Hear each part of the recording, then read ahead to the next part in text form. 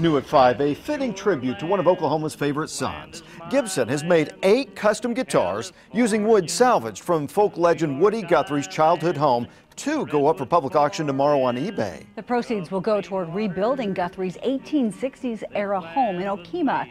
That house was torn down in the 70s.